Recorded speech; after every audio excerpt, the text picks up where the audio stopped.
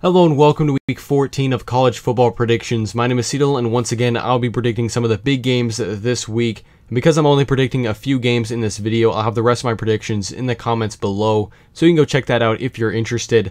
I think we have a lot of good games this week, so let's just get into it, starting with the fifth ranked 6 and 1 Texas A&M Aggies taking on the 22nd ranked 5 and 3 Auburn Tigers.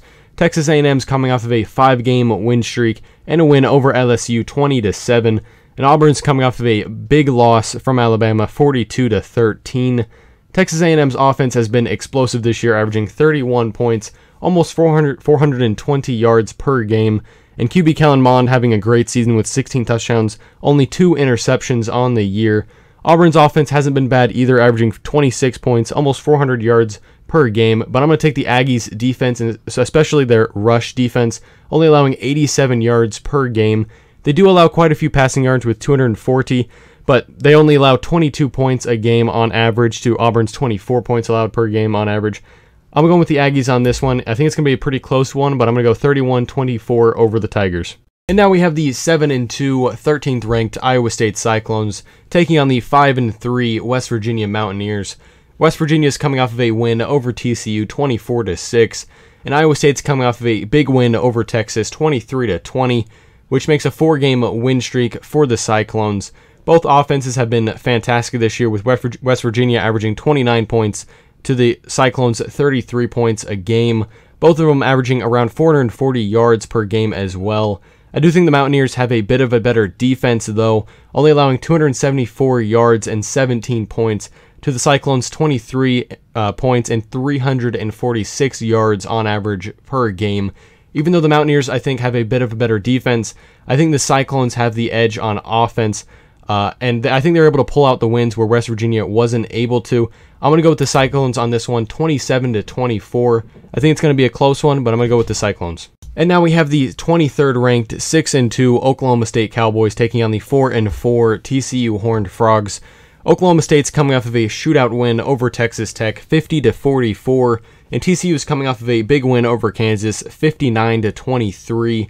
Both of these teams have have been really similar uh, statistically this season. Both of them averaging 28 points on offense, and with Oklahoma State averaging 406 yards to the TCU's 390 yards per game.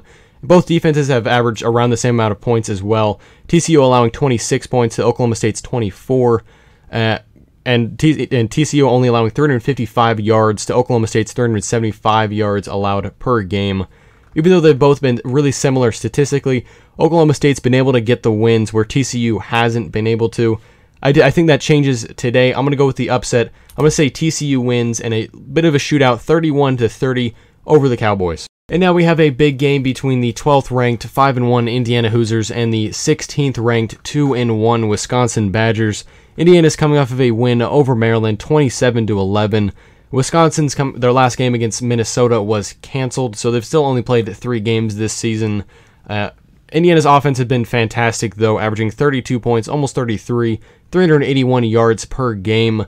And Wisconsin, even though they played three games this season, they're averaging 33 points, 421 yards per game. And their defense has done even better, only allowing 233 yards and 11 points on average a game. Indiana's defense has also been fantastic, only allowing 21 points, 365 yards per game. Wisconsin's only three games hasn't been against the best of competition. Uh, I'm going to go with Indiana, even though their QB did get hurt in the last game against Maryland in the final few minutes. Not entirely sure if he's going to play in this one. I'm still going to go with Indiana, though, even with the uncertainty of the QB. I'm going to go 21 18 over the Badgers. Thank you for watching, and don't forget to post your predictions in the comments below. And feel free to subscribe if you enjoyed this video, but thank you for watching, and I will see you next time.